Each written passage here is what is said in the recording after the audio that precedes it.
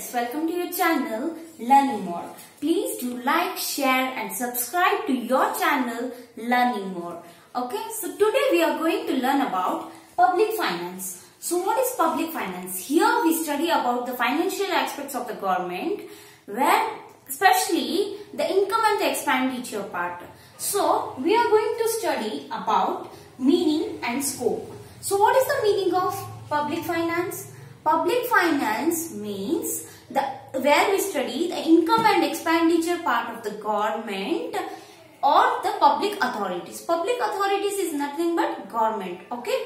So next we will come to scope. When we come to scope, we have public revenue, public expenditure, public debt, financial administration and fiscal policy. So I have made it easy for you guys. See, P cube and F square.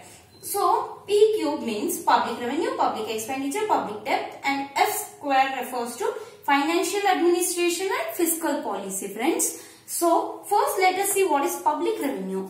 Public revenue means here we will study how the government is going to collect the taxes and here we will study one more aspect called canons of taxation.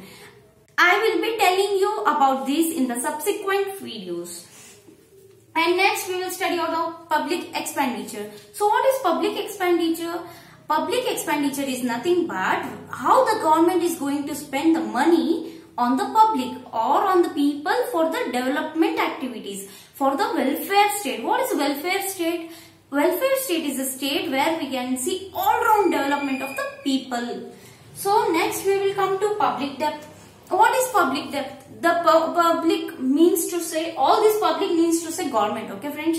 So, what is public debt? Public debt is nothing but the government borrows money for few activities. What is the reason, why they borrow and how they are going to repay the loan. All this we will study under public debt. Then financial administration. Here we are going to see how the government is administrating the financial activities. Like how we will see budget, right? Yearly once the government is going to give the budget. So financial um, aspects like uh, budgeting, taxation, etc.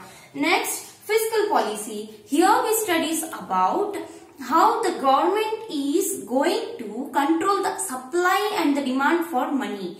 Because if the supply of money increases it may lead to inflation. When the supply of money decreases it may lead to deflation. So all these act, uh, activities we all these things we learn under fiscal policy. So thank you friends. Here we complete our video. And please do like share and subscribe to your channel. Learning more